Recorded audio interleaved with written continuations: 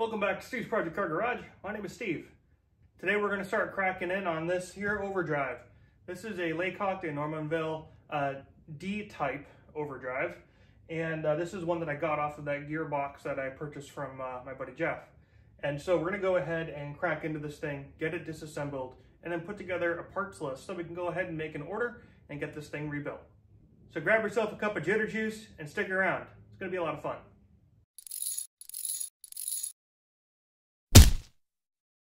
All right, so I have the uh, manual over here on the iPad. This is uh, the original shop manual from Triumph, and uh, this is for the Vitesse and the Spitfire, I believe. And uh, anyways, it covers the uh, the D-type overdrive. And so the first thing that it talks about doing is um, going ahead and removing these four uh, nuts that actually hold down this um, locking bridge. There's supposed to be locking tab washers underneath each one of these, and there is not. So that tells me that someone's already been in here. So we're going to start with a 7 16 and we're going to just back these guys off slowly.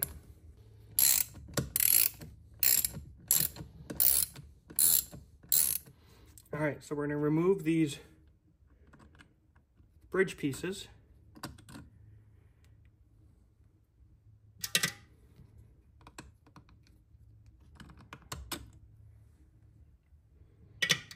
Okay, then we're going to also remove uh, these springs the bias springs.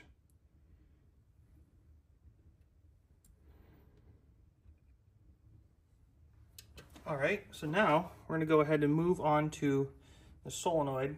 So the solenoid uh, rubber boot was pretty trashed. Um, I don't think we can get just the boot by itself, but I have tested the solenoid and the solenoid does work, but this wire is pretty frayed right here. So I may end up just replacing the solenoid just for good measure. They're about 40 bucks. So um, yes, it's not cheap, but I think it's a smart move. So we're going to remove these two screws that hold the solenoid in.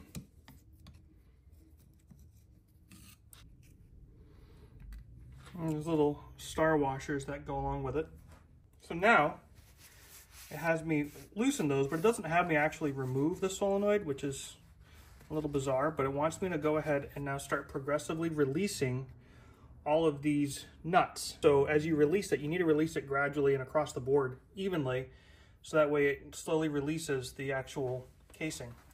So let me see if I can get you a better angle and we'll start doing that.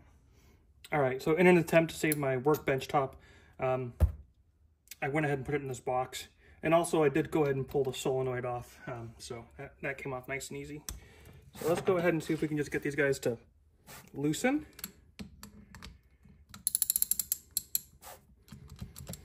Yeah, I'm gonna have to try to do that.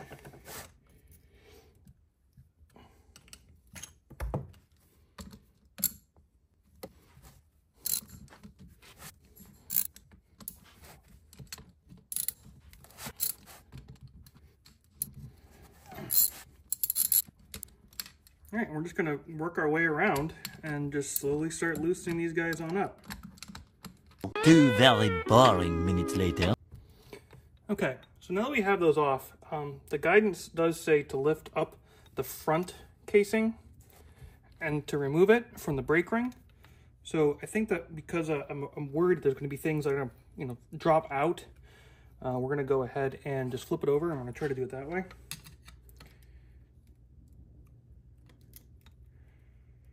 Can't seem to get the case to split though.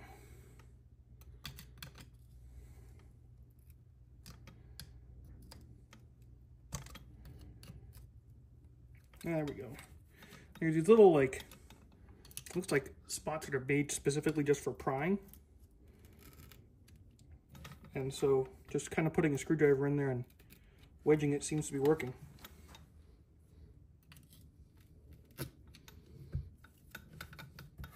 This way you're not messing up any of the mating surfaces. Yeah, felt something definitely released there.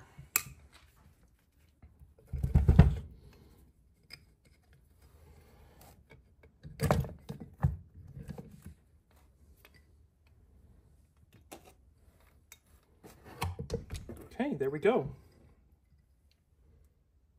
Excellent. So now what it wants us to do is If the brake ring remains with the gear casing, tap it off gently.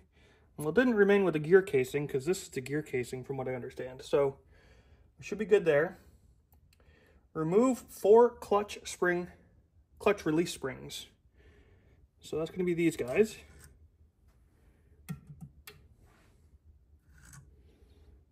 And withdraw the clutch sliding member, complete with thrust bearing, thrust ring, retaining plate, and sun gear.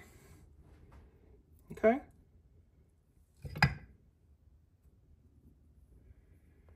Well, there's the clutch. There's the center of the sun gear. All right, so now we're gonna go ahead and pull up the sun gear. And now we're gonna be left in here with the annulus and then the uh, output shaft. So this is where it has a stop for the moment and we're gonna start working on the top part again. All right, so now that we've got the rear partially disassembled, we're gonna work on removing the operating relief valve. All right, needed to just bring it over to the bench to get a little better grip. But we're gonna go ahead and remove this. Okay, so we have the top. There's a spring, a plunger and a ball. So right here. I'm just gonna keep that all together. I'm to see if I can try to find a small telescoping magnet to be able to pull out what's left in there. Now this is this is quite interesting. So in here it says to uh, using a small piece of wire to use extreme care to not damage anything, uh, remove the valve that's in here. Um, so I'm going to see if I can get a small piece of wire and just try to do that. I got some good strong um, like picture hanging wire. We'll see if we can use that.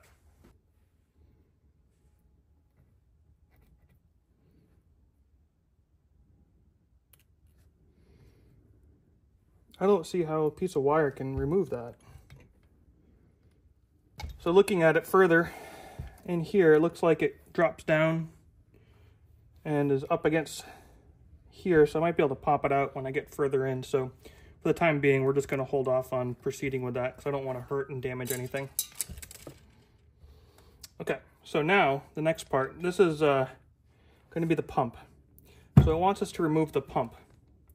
And so the pump um, is, I, have watched a, a, couple videos on doing this. The pump is located right here. I've already loosened the, the bolt for it. I've actually loosened the nuts on all of these pretty much. But I'm going to go ahead and remove this. We're to use our little magnet. Just remove the spring.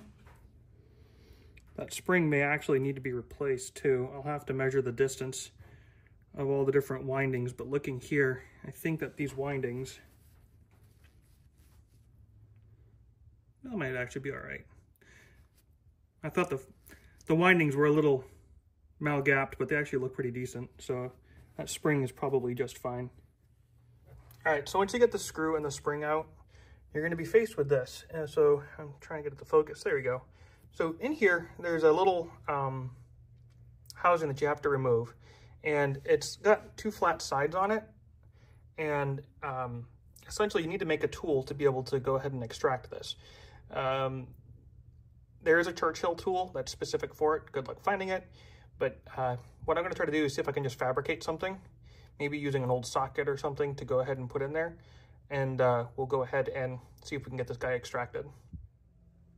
All right, so here's what I fabricated. I took an old socket and uh, I just ground it out to be about 10 and a half millimeters thick gap. And uh, we're gonna see if this works to just kind of remove this guy. Got a bite.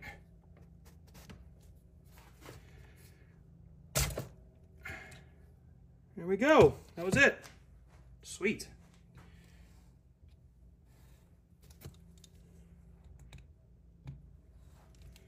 So now we should be able to just back this out.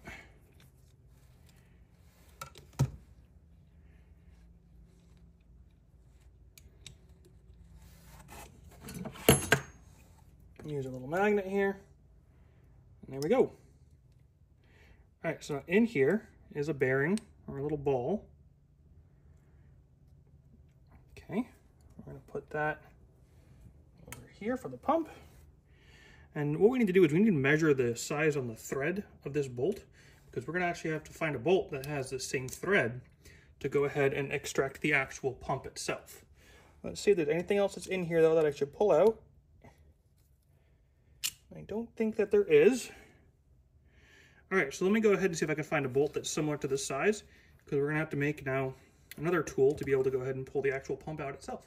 All right, so now the next thing that we need to do is to uh, remove the, uh, the pump non-return valve body.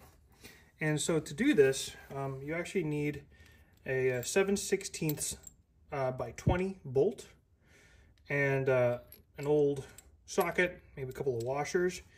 And essentially what we're going to do is we're going to put this in and we're going to screw into the hole that held this guy here. And we're just going to slowly keep tightening it and that's going to extract the actual body out. At least it, it should in theory. So let's give it a try.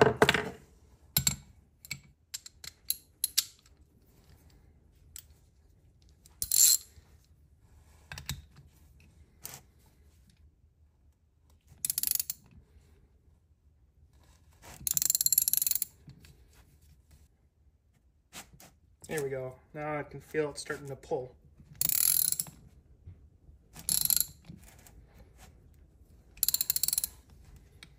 Let's see if I need to go ahead and add some more washers.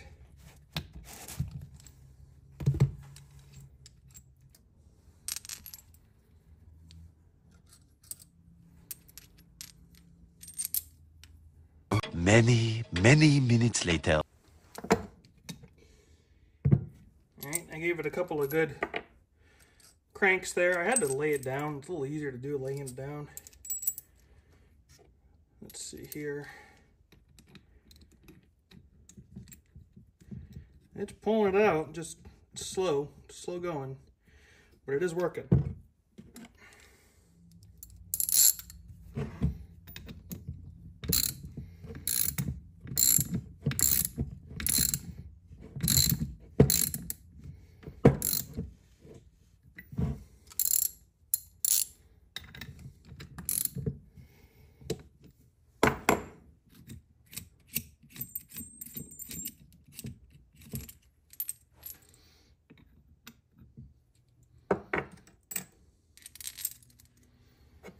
It's pulling it.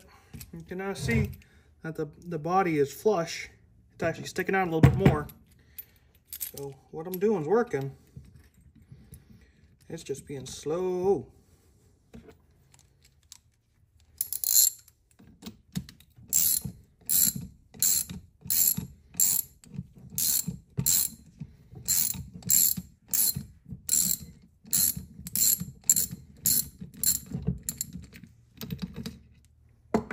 Huzzah!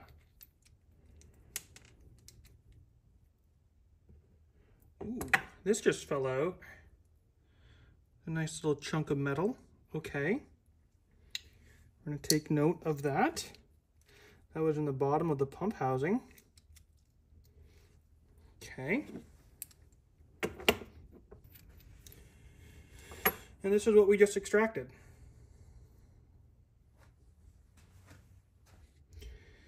There's a little piece of metal in here. Now, if you remember correctly, this uh, gearbox chew a tooth badly, and there was broken bearings. And so I'm not entirely surprised to see chunks of metal in here. And so uh, for a period of time, I was thinking I wasn't going to extract the uh, the pump housing, but I'm glad I did because uh, we don't need pieces like that floating around in here. So now we should be able to just pull up on this. And this is the actual pump. So what this pump does is it rolls along um, a lobe. I can't, let me swing you over. So this, this roller ball rolls along this lobe in the transmission and essentially just goes up and down and up and down and up and down and up and down and it just that's what pumps oil into the overdrive. These seldomly fail, um, but it's good to clean them and make sure everything is free of damage and debris, such as pieces of gearbox. All right, so now the next thing to remove is going to be the uh, plate that covers the filter housing. So we're going to go ahead and just see if we can get that out of here.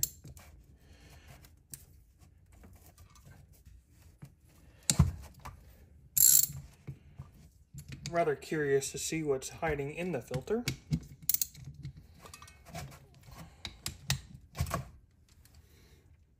Alright, so I loosened this up a little bit. Let's go ahead and take it off and see what's inside.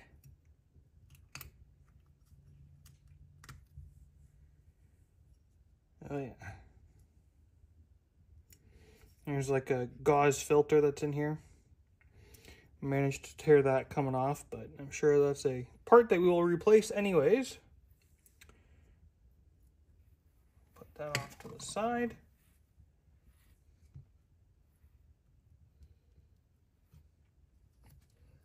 And there's the filter. Now I need to figure out how to get that filter out.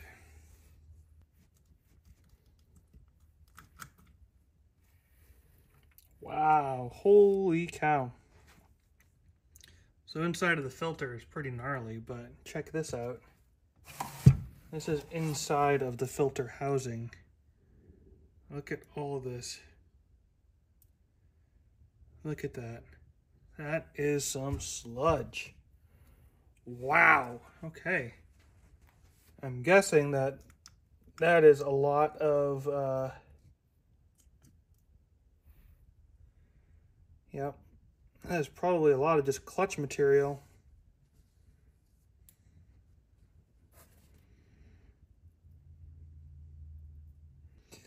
Curious if this is all that ferrous material that was in the bottom of this thing because it's got quite a gleam to it. Yes, there's actually three of these. Look at the color on this stuff though. Holy cow. The color of my hands. That's not going to come off easily. Wow. Okay. So we have three of these guys. And these are magnetic. I can... That's interesting. And they're a soft material too, but they are... They're magnetic, whether it be from the, all the crap that's on there or what, I'm not sure. I know that there's supposed to be magnetic filters in here, and I'm guessing that's what these are. And boy, have they done their job. Look at that. There's a lot of ferrous material in here. I went ahead and I cleaned up my hands and uh, obviously I threw on some gloves, but there's a lot of junk in here. And it's surprisingly quite ferrous, which uh, really makes me think that this is all probably clutch material. And with that being said, with the amount that I've pulled out, I'm going to go ahead and just replace the clutch, or the uh, sliding member. I was on the fence about it before, but I think seeing everything that's come out of here, uh, it's it's a wise move.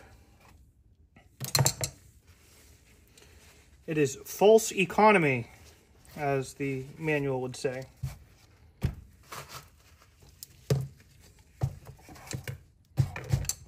Alright, I'm going to try to remove this brake ring. Much like before. This just comes off using those pry points.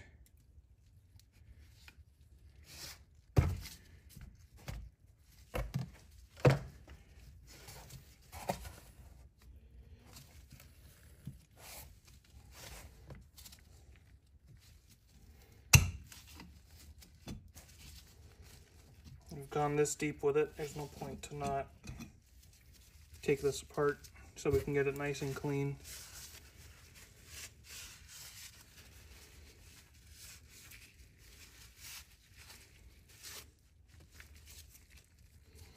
When looking at it, can't really tell if there is a right, correct way for this to go or not. It, there is. Okay, so just as note for myself in a later video, when looking at it, this is the top. That's the bottom. Okay, you can see how this is uh, caved out. This is actually where I think the okay, so the annulus annulus goes inside of here. Yeah. All right. All right, I'm gonna go ahead and take apart the adjuster plate.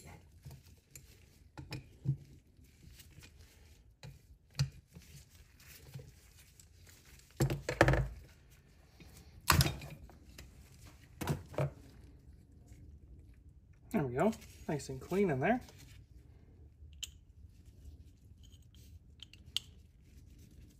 It's interesting.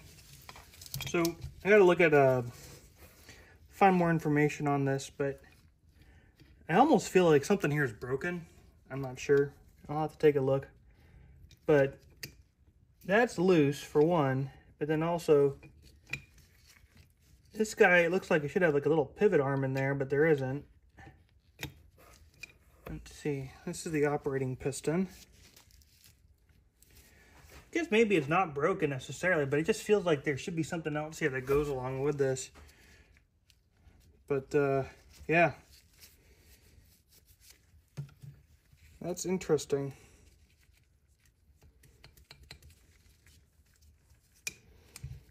So we'll find out more about this. Get this gasket, of course, replaced.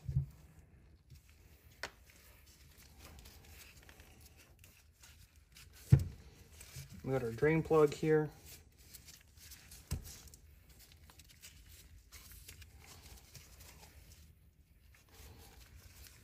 Manual talks about removing the operating pistons, which are right here. Um, I don't have the tool to remove those, and uh, I'm not entirely sure that I'm going to be able to fabricate said tool. Um, so, again, I'm going to have to look into that a little bit more. If you know uh, if this is worth removing or not, let me know. Um, but we might be getting almost down to where it's kind of time to call it quits as far as stripping this back any further. I don't want to get too far into this and then find out that I can't put it back together. In here we have another spring.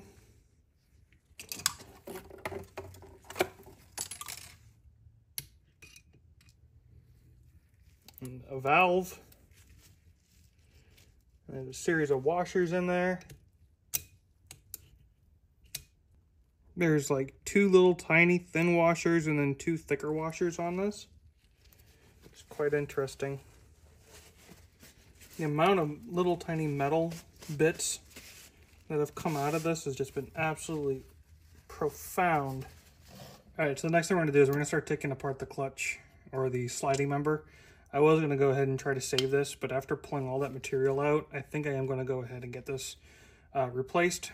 Um, there's a guy by the name of John with Quantum Mechanics, and uh, he relines these as well as rebuilds all of these.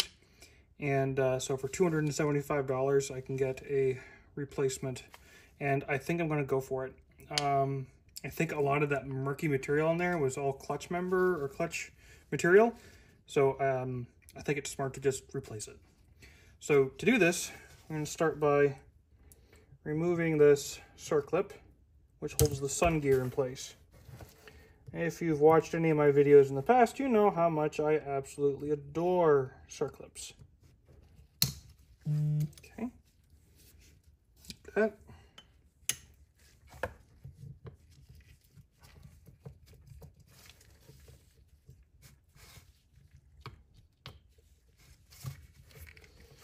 Then we get this retaining clip.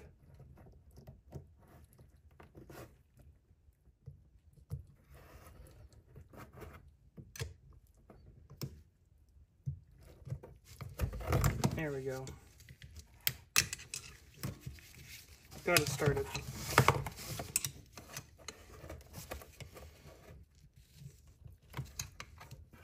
I think the big thing with these clips is to just kind of get it started. And once you get it started, it should start to come up easily. And now, sun gear comes out.